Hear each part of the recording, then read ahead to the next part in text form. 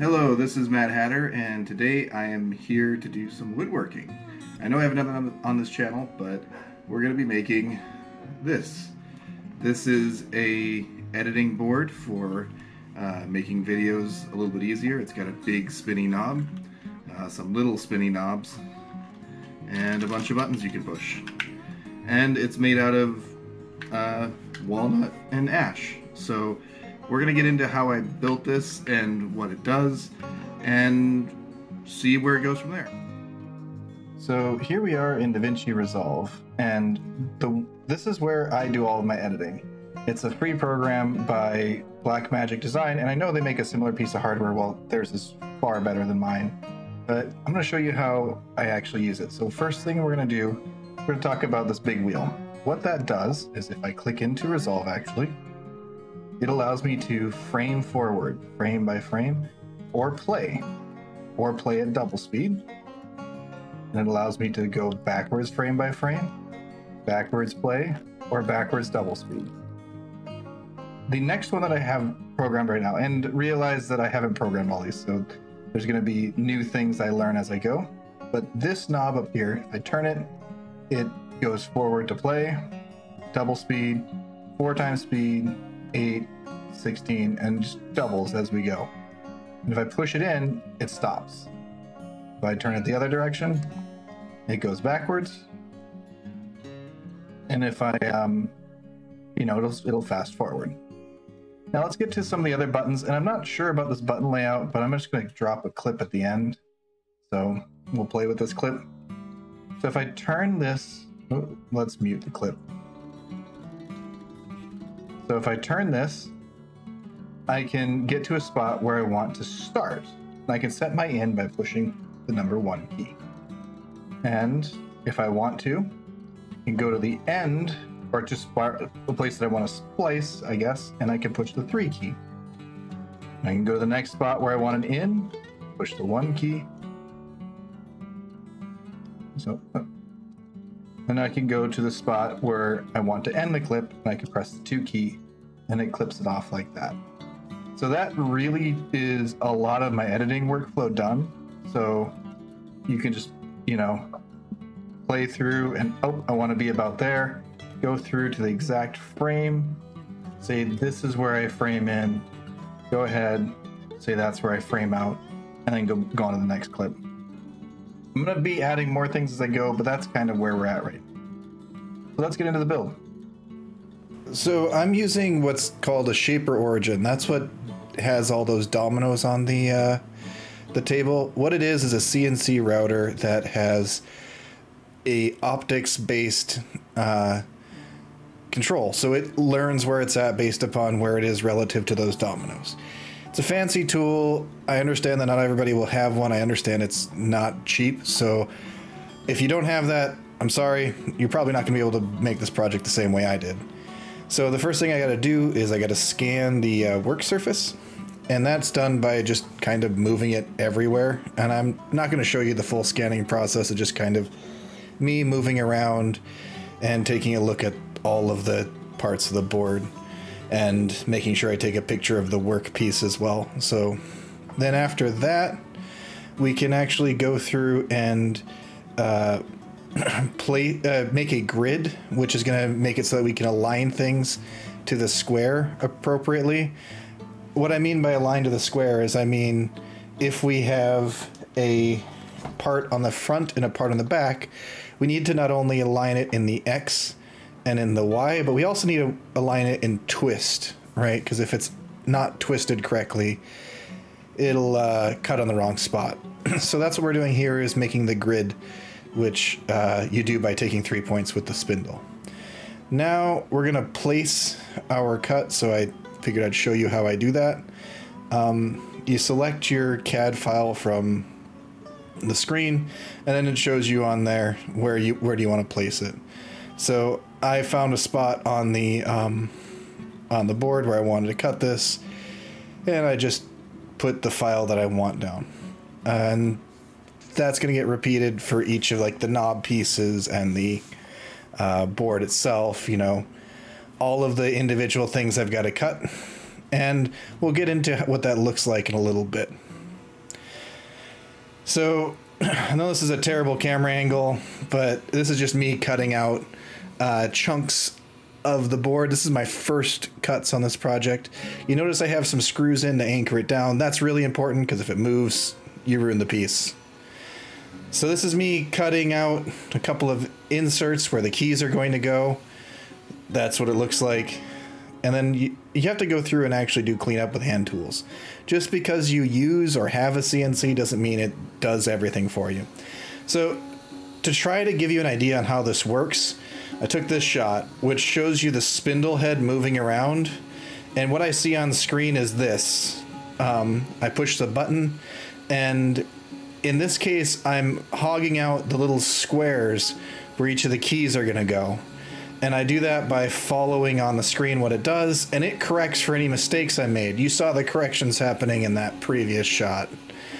Anyway, I do this for each of the individual key pieces, and then I'm going to switch over and do a different style of cutting. It's just a plunge cut and kind of scribble around uh, for this little hole. Everywhere that's blue is a place I've already cut, so that way it keeps track of what I've already done. Now, to add a chamfer to kind of clean up the edge, I'm going to use this engraving bit. It's not the right bit for what we're doing, but I'll just tell it to trace exactly on the line and I'll plunge just a little bit into the workpiece.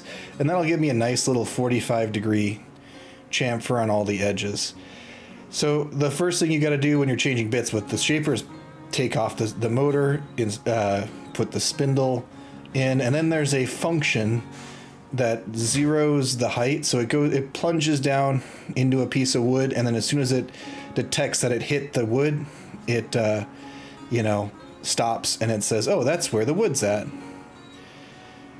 Um, yeah, I'm gonna try to forego any vacuuming or whatever in this video in the video because, as you can hear, it's quite loud. Now, this is me tightening it in. You've got to tighten up the, the motor, otherwise it will slide and the, the zeroing will fail. But here's an example of what it does when you zero. You hold the, the thing still, push the button, it drives down and it bumps the ground and it retracts. There it retracted, and you can see it kind of tilted the machine a little bit when it bumped the ground. It's me cutting the chamfers. Again, I'm just going to skip through a lot of the cutting if I can. Um, but it draws an ant line on the screen. I didn't get a good picture of that, but it draws an ant line, and if you screw up and you go off the ant line, it aborts just like what you just saw. I personally like this tool because it makes me feel like I'm still part of the woodworking, whereas like a big CNC machine, it just kind of takes it all away. Um, you kind of just feel like you hit a button and you're playing a computer program. And as I'm going through, I check for chamfer and I, you know, adjust and uh, make it deeper if and just slowly creep up on the chamfer I want. So this is what it looks like after it's chamfered. Still rough. You still got all those bird edges. So we'll get to cleaning that up next. So to do that, I'm going to use a hand chisel. Uh, I sharpen it with this power sharpener thing. I don't even know where I found it, but it does make sharpening chisels way faster you just wiggle it and then it um, you know sharp so just a quick chop through sand and this you know is actually like an hour of video cut down to just just a little bit of chopping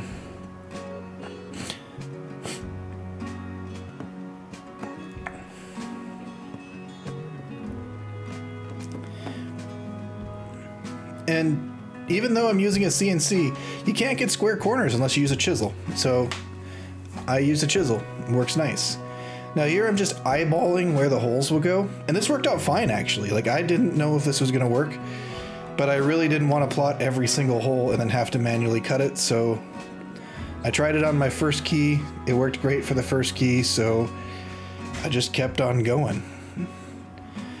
Anyway, it took a little bit of practice to get it lined up, but afterwards, this actually didn't take as long as you'd, you'd think. Uh, I don't remember how long it took, but it was pretty quick to get through all the holes. The center holes I need to have pretty close to aligned. Oh, and you may have saw I drilled a hole in the upper right-hand corner. That's so I know where the um, the backside of, of this is for lining things up later.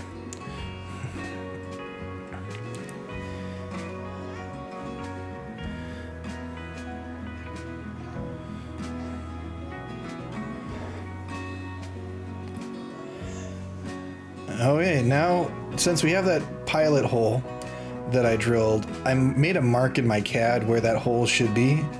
And if I go and actually line that up, it uh, does indeed like line up on the opposite side, and I can actually use that to get everything all sorted out. That's what I did for this project. It doesn't mean it's the only way to do it, but it worked for me. Here's a video of me trying to figure out what depth I needed. I started out shallow, and this is generally how I get to the correct depth. I cut a little hole, so just a little one, like this, and I see how deep it looks. I measure with a drill bit, you know, I unscrew the screws and I screw it back in, but I measure with a drill bit to see the depth. And it's not anywhere close to deep enough, but I keep doing that same process over and over again.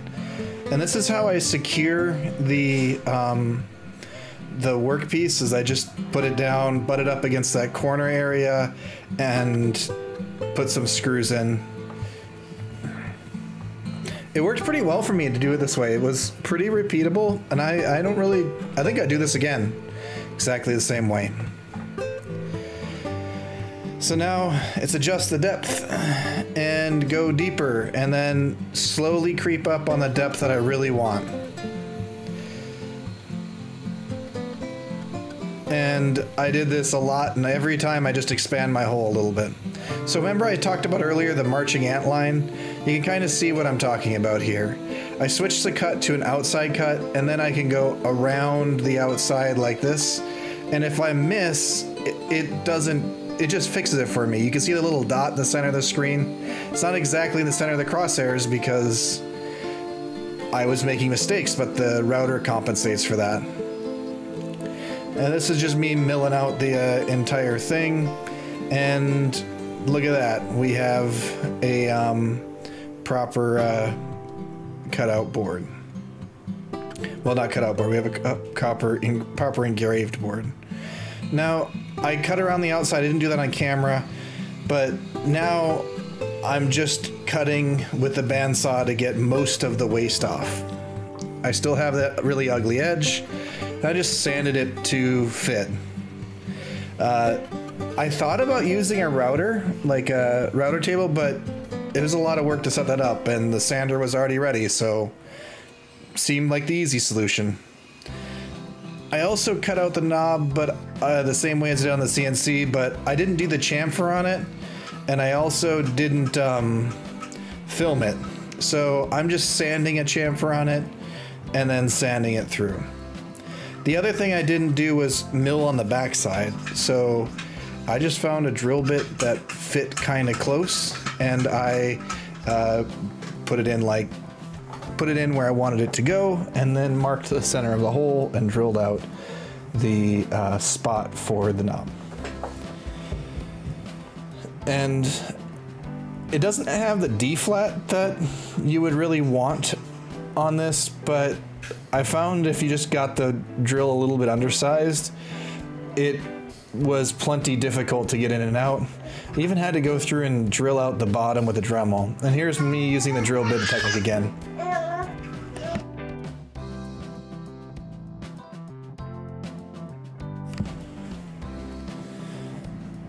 Uh, it's a really tight press fit to get it in there, um, but over time it kind of loosened and now I can get the knob on and off reasonably.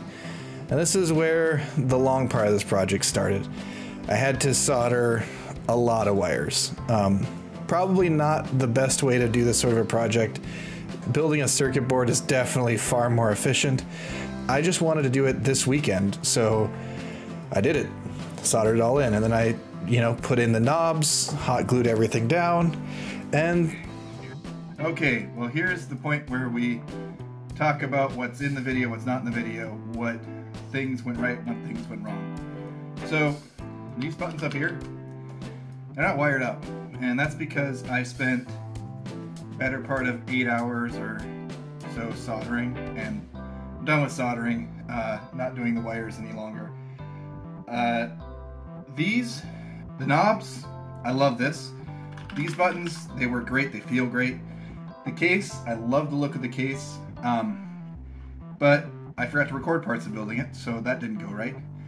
And I think I'm going to do another one. So uh, if you made it this far in the video, I'm going to uh, give you a hint that the circuit board that I'm going to build is likely smaller than this in this direction, but longer in this direction. That's because I found a PCB vendor or circuit board vendor that uh, is very cheap for small square boards, but gets really expensive if you just extend it one millimeter in the outward direction. So that might be a future video. I have started the layout, I've started the design on that, and I, it's looking pretty good, so we'll see how that goes. Anyway, if you like the video, like the video, subscribe, and let me know what you think in the comments. Anyway, this is Hatter, and I'm out. Bye.